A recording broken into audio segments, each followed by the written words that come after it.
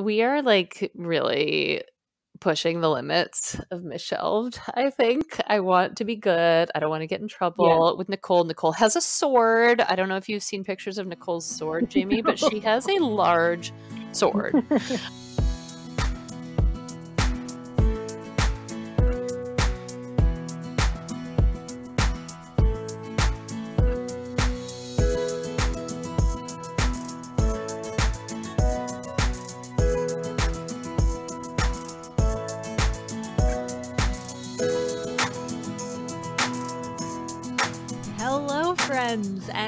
to the inaugural season three episode of Misshelved. We made it! Woohoo!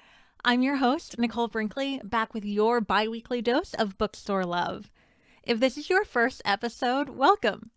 Every two weeks, I introduce you to an independent bookseller in conversation with one of their favorite authors.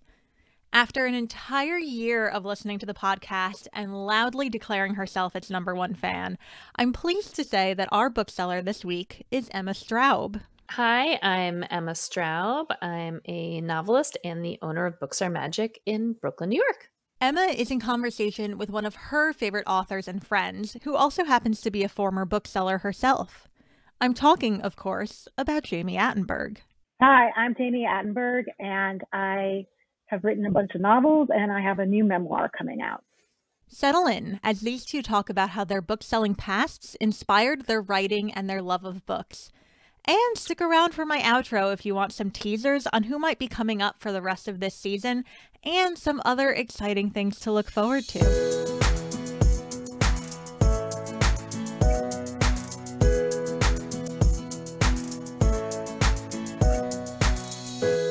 Excited to be doing this and because Misshelved is my literal favorite podcast. I'm not just sucking up. I listen to every episode. And I'm excited in particular to be doing this with you because you and I met. I think we were both working at bookstores when we met. Mhm. I know that when we met, you had already published some books, but it was like right, right, right at the beginning of my writing career and my book selling career. And so I just, I feel like I've known you for my entire professional life. And because of that, reading your new book felt just just incredible to me like i thought it was so moving and so vulnerable and so honest. I just loved it. And I feel like it, it's kind of like, you know, how when you're a kid, you like know all of your friends' parents and like, you know, like every single thing about them. But then with the people you meet as a grown up, it takes much longer to get all of that information. I feel like reading your memoir was kind of like a crash course in like inner Jami for me. Yes, everything you need to know in one handy resource. Good thing you were interested. yeah. Um, I just want to say I remember you as a bookseller, and I remember your first book, Flyover State, which I still have, which was great. And I even remember that you sent out this email to a couple of people asking us, like, submitting title ideas to us. Do you remember that? And you were like, I'm thinking it could be one of these four. What do you guys think? And I was like, I'm so it was really, really sweet. And um, but you, the flyover state, that was actually the best title of them all. So yeah, book selling is wonderful. I- talk about it a little bit in the book, but I think it really changed my life as I imagine it changed yours. yeah. too. So so why? Like, okay, so I mean, I know some of the answers, but just for the misshelved listeners, tell me about your career as a bookseller. Well, first I want to say that my parents were in retail, and my I owned sewing a sewing store. They owned a couple sewing stores, and then it was just one, but they had it for a really long time, a couple of decades. And so I grew up in retail and have an, a natural inclination towards that. And the place that I was at in my life when I started working at Word in Greenpoint is that I put a couple of books out, and my career really wasn't doing very well. and I think that you have can understand this that sometimes you can get occupied with the numbers, right? and the, and the math of it and how you're doing, and I say that in quotation marks. And I I needed to, I think when I started in the bookstore, I felt like I was returning to roots in a way. Mm. It was just talking about people who loved books all day long and just sharing what you love about books. And, you know, hand selling is kind of when you, when you give someone a book and they buy it and they come back the next week and tell you how much they loved it, there's no better feeling than that.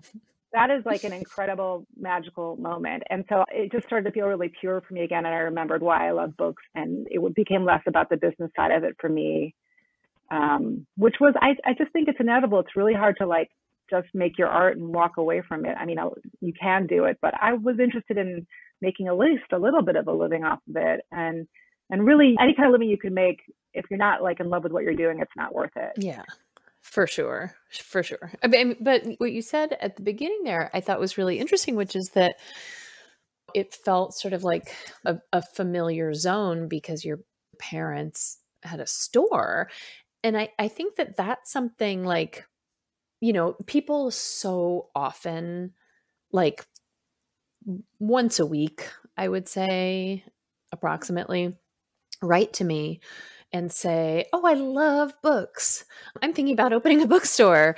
What should I know?" and and you know, the the first thing that I say when people ask me if they should open a bookstore is like, "Okay, great. Um you love books. That's terrific, but like do you understand that you're talking about like a retail space yeah. that is that is open to the public and you know obviously you can decide what kind of a store you're going to have what kind of a space what kind of hours what kind of days all that but like if it's your full time job mm. like i mean it is so life consuming to have yeah. a retail store. And I think that a lot of people like me who are like, yeah, I have some experience. I'm going to open a bookstore um, without having like real retail managerial skills um, mm-hmm. that all of a sudden you're like, whoa, this is a whole other learn how to do bag it. of bananas. Yeah. I mean, when I was growing up, there was a little bookstore. I wish I could remember the name of it, but it was mostly a secondhand bookstore, and every book, book was like a quarter. Mm-hmm. I don't even understand how they were in business. Like it seemed like they were just kind of hanging out, and here were some books or whatever. But those kinds of stores, you have to have kind of, I'm guessing, like really cheap rent, or you own the building, or you know, you've got money already. And if that's the case, then go ahead and open that that business for yourself. But I think especially in a city like New York, you kind of got to play to win. Yeah. Yeah, yeah. I mean, for for sure, and I think that like I'm still understanding that anew. because it's not just you; it's that you want to pay the people who work for you well, and you want to treat them right, and you want everybody who's involved with the business to be able to be successful in their own way. Exactly. So I'm sure it's a massive responsibility. You yeah. just wrote a piece about, uh, right? Yeah, I wrote a thing maybe mm-hmm. five years ago for this this very cool travel guide company called Wildsam that was doing a Brooklyn guide and the person who was editing it asked me to write something about BookCourt which i no longer worked at but i still loved and i still lived close to and i wrote like it is horrifying it's actually like horrifying to me now what i wrote because it was like so personal. This is actually something that i really want to talk to you about jami is like understanding how much like how much to reveal and how much of your story is your story because you were there and it's coming from your point of view and how much belongs to like the other people who were there and like whose point of view do you take into account um but so I, I wrote this piece that was like for me very revealing about other people's lives about the family who owned the bookstore and I, and it was like it was a very loving portrait. Like it wasn't even that I was saying things that were really critical. I was just being I think more honest than I m- might have been in writing about like someone else's business. Mm. But then the travel book company wanted to update it and so I was like, hold on. the whole thing is about like how much I hope BookCourt never closes and never goes away. And in the intervening years, BookCourt closed and then I opened my own bookstore. So I wrote a little update. And I mean, it's Update. really nice. Like this woman wrote me the other day and and said that she lived in Cobble Hill where Books Are Magic is and that she had recently moved to DC and that she um, you know, at the end of my little update, I say, you know, basically my goal is just that someone loves books are magic the way I loved BookCourt. And the woman was like, I loved books are magic. And I Oh. really miss it. And I was like, and then I sent her a present in the mail because I'm a totally normal person. Um, yeah, I want to go back to something that you were saying about the bookstore and your writing life because I don't know if you feel this way, but like I feel like without a doubt, I would not have the publishing career that I have without my time at BookCourt and now Books Are Magic.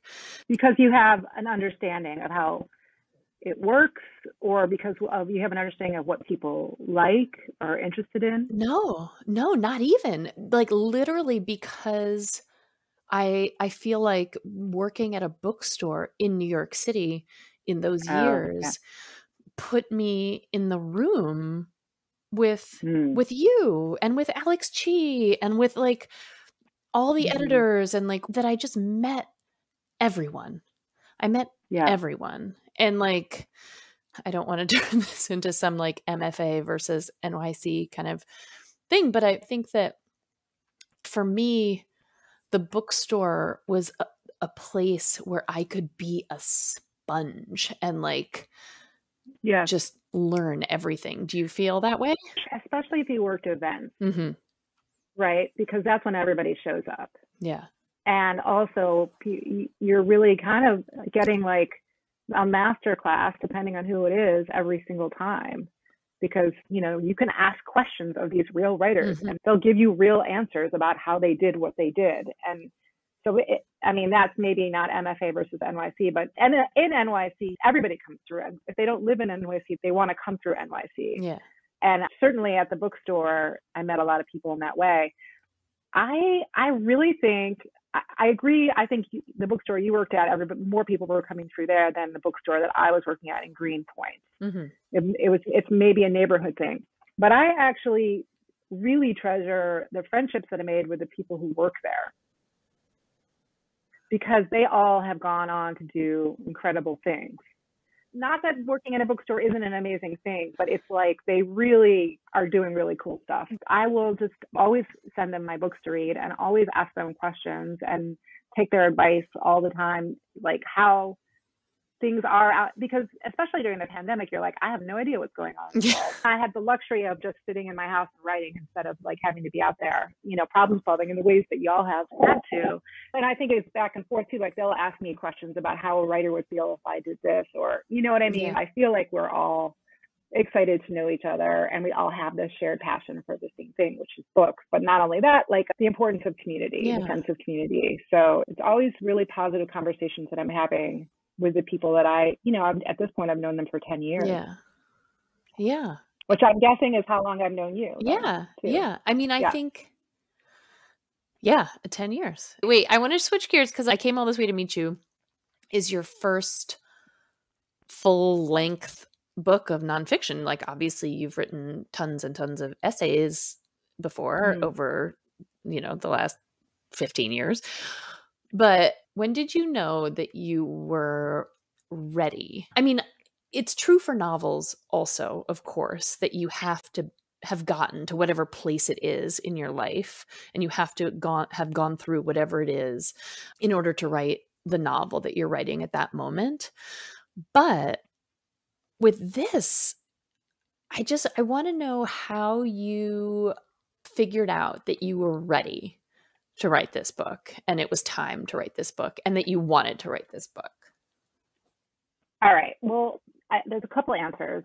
I don't want to ramble too much about this, but I'll try. I would say one thing was that I knew I was about to turn 50, that it was coming up, and it's always felt like a significant age to me, more so than 40.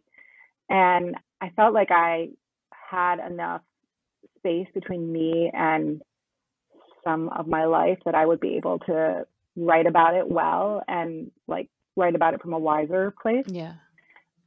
So that was part of it. Um, part of it was that there's a chapter in the book that I probably worked on for four years. Mm. And I was just writing to get it out of me, which is the chapter that's called The Trip to the End of the World. Mm-hmm. And it was really hard to write it and get it right, tonally right, and really even understand how I felt about everything that was in it. And when I got it to the place that I wanted to get it to, I was like, well, no one's ever going to publish this on its own. Like it just didn't feel like it could be. It, I just wouldn't know where I would want to place it, mm-hmm. you know. And then it's there was part of me just thought you should probably just write an entire book around it, mm. just so that chapter can exist in the world. So I think that was part of it. I don't know if I was super conscious of it at the time, but I also knew that I didn't want it to go away. It just was really insisting to me, you know, when you have a piece of maybe you write like a character that you don't know what you're going to do with them yet, mm-hmm. but they're like, you know, I'm here. You know, they're sort yeah. of like they've got their like arms crossed and they're like tapping their feet impatiently at you and they won't shut up.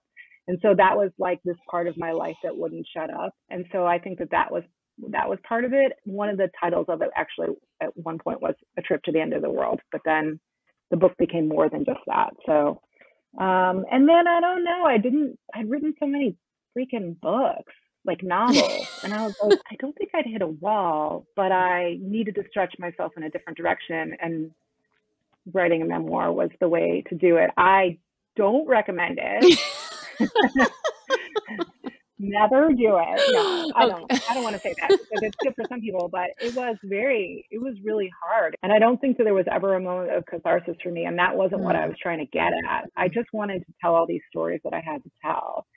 So it wasn't that, it was just you actually feel, you know, the pain yeah. that you went through. And even if it's 10 years away or 20 years away, it's still it's still there on the page. That said, there's like happy moments that I'm writing about too.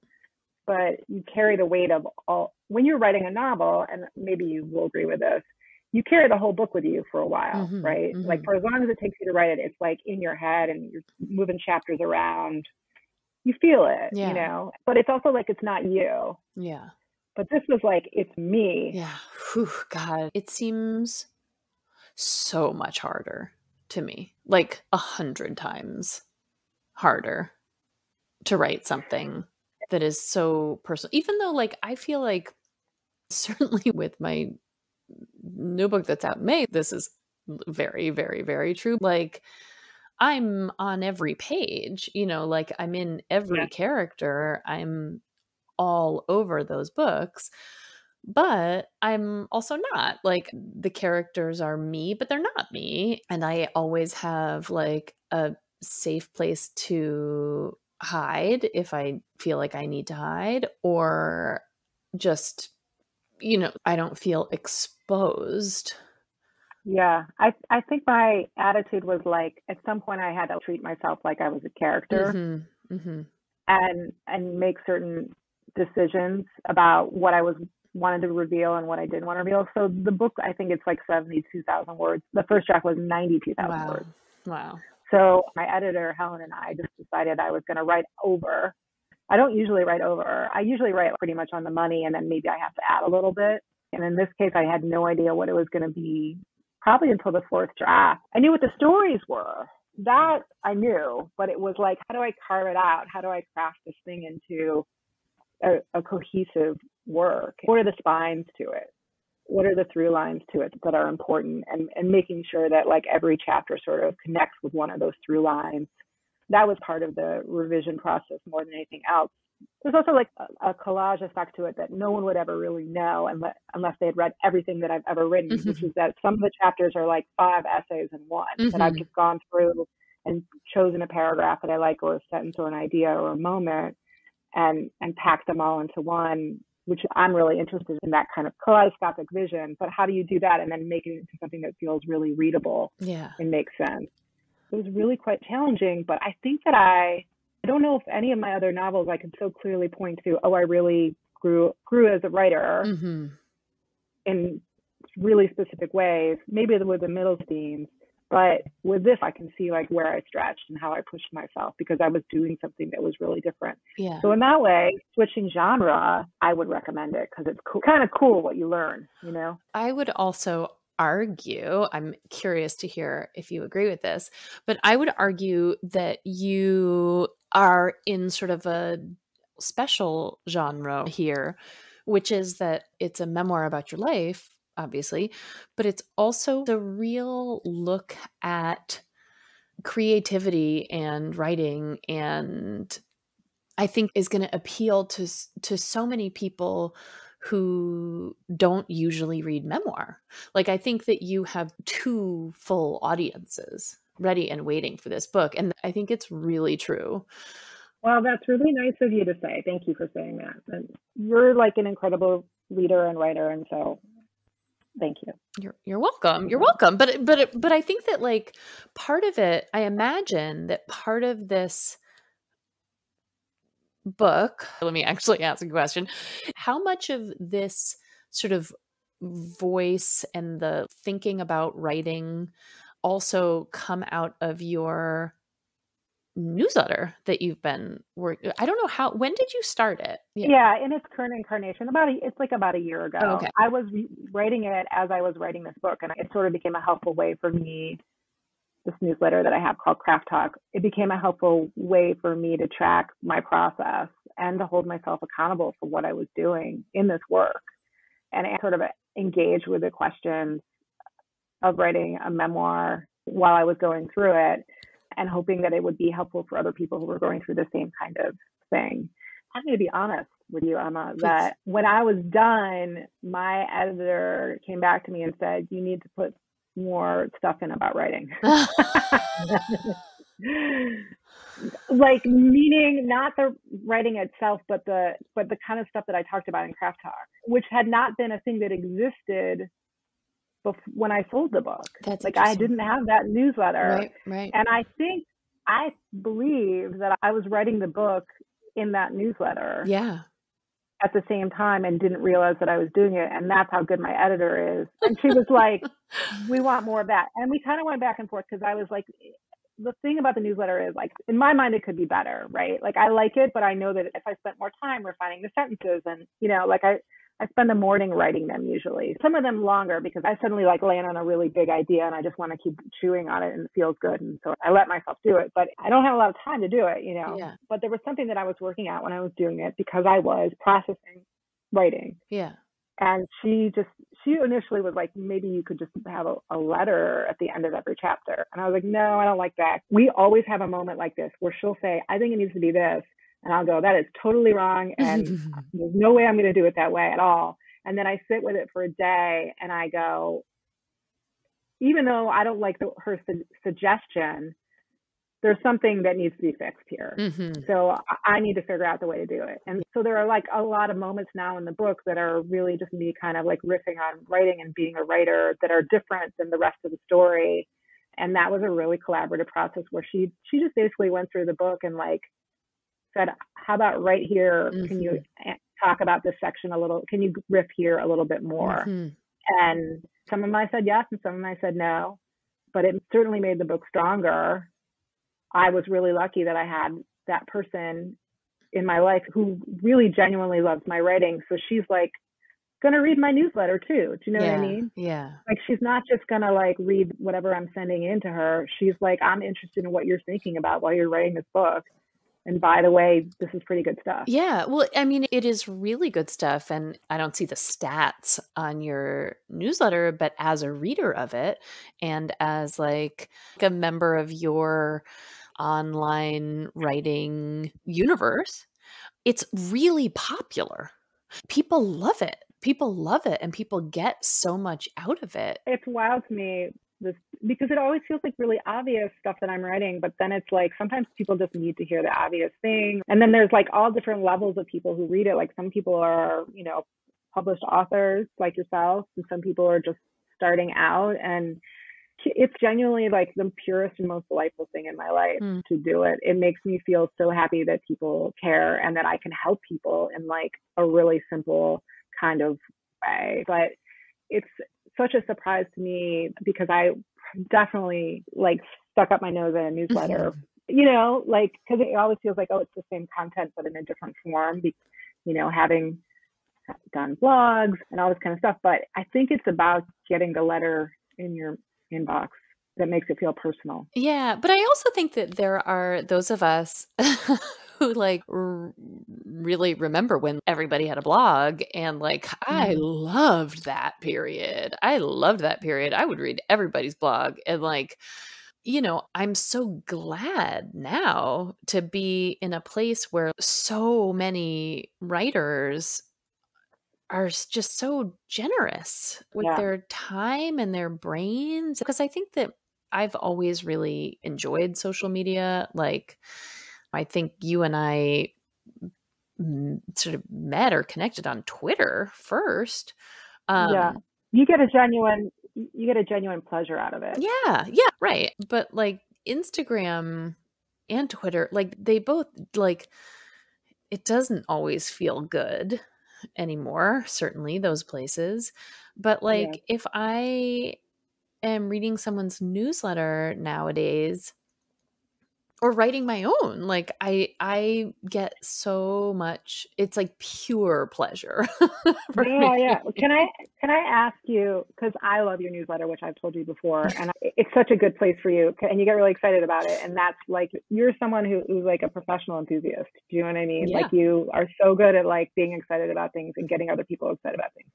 Tell me what your relationship is with your newsletter now. Do you are you enjoying doing it? Do you feel like it's a long yeah. thing or yeah i mean i think it's really fun and i i like that i have a space where i can be like fully goofy or depressed or funny or whatever you know like that that it, it it's not you know it's funny when i started the newsletter i was like i just need a like a newsletter. My mother forwarded me Louise Penny's newsletter that she gets mm. before I started mine. And it was just like an update, basically, of what Louise Penny is writing, what Louise Penny is promoting, any sort of movie or TV stuff, you know, like it was really efficient. And I was like, that is exactly what I need. That I'm going to do that. and then, of course, mm. I like open a newsletter document and I'm like, and like making jokes about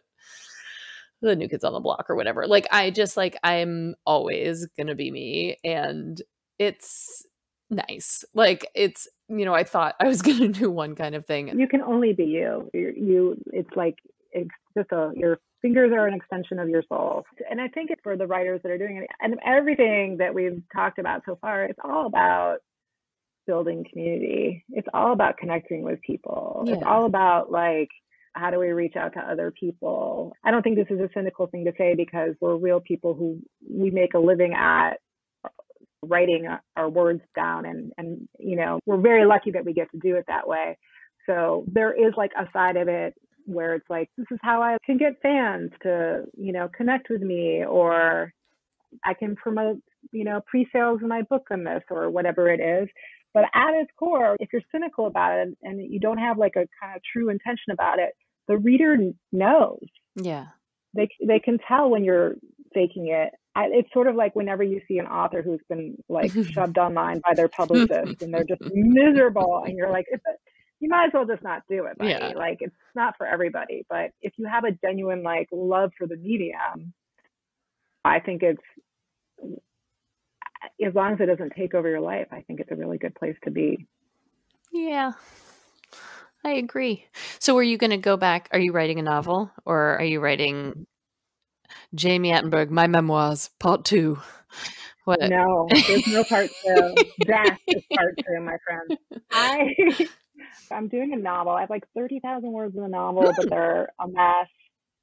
but I'm just trying to get to know the characters right now. It's due at the end of this year, like a pretty tight draft. I have to finish promoting this book, which used to be like two or three months of your life, but in the current time is the, you know, a month from now. Yeah. But my novel, I don't have a title for it, but I'm going to write about, I'm writing about women who love their work. Mm. Oh my God! Wait, did you watch Dag in the movie? Sorry, everyone needs to watch The Lost Daughter. That is the so the. Maggie Gyllenhaal adaptation of Elena Ferrante, and one of the stars of the movie is Dagmara Domińczyk, who is also a novelist who Jami and I know because she's very good friends with Christine Onorati, who owns Word and Greenpoint, and Dag is so good in that movie.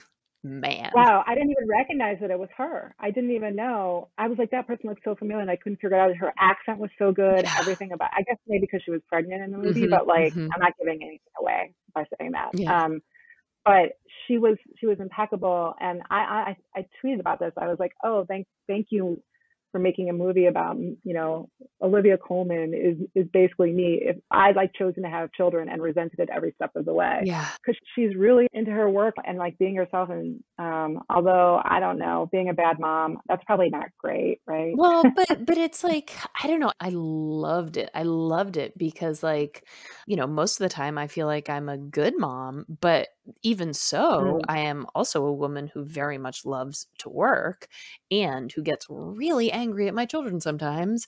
And I just I loved it. I thought it was an incredible portrait of a woman having all kinds of experiences that I have never seen in a movie before. no, I read the book too. Uh, I didn't read it. Should I read it? Yeah, I mean, she's it's one of her short ones, Yeah. I think. So like, I always recommend her short ones. Like, it won't take you very long to do it, but I think that as an adaptation, it felt different to me. It really did in a good way. Mm-hmm. Yeah, it was really great. Yay! See, so look at look at us, Jami. We're recommending films. We're we're we're we're interested in all life kinds choices. of things. I know. I think are we talk? I guess we're talking about book selling. I mean, I I fantasize still about opening a bookstore in the um, not in the way that you when you sometimes get c- contacted by people in a pretty realistic way. Yeah.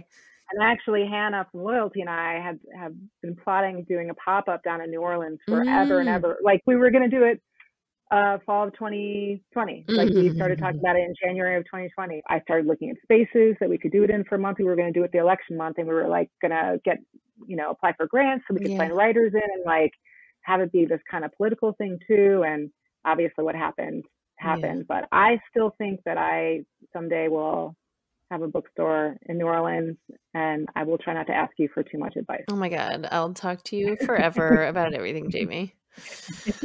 okay, we are like really pushing the limits of Misshelved. I think I want to be good. I don't want to get in trouble with Nicole. Nicole has a sword. I don't know if you've seen pictures of Nicole's sword, Jami, but she has a large sword.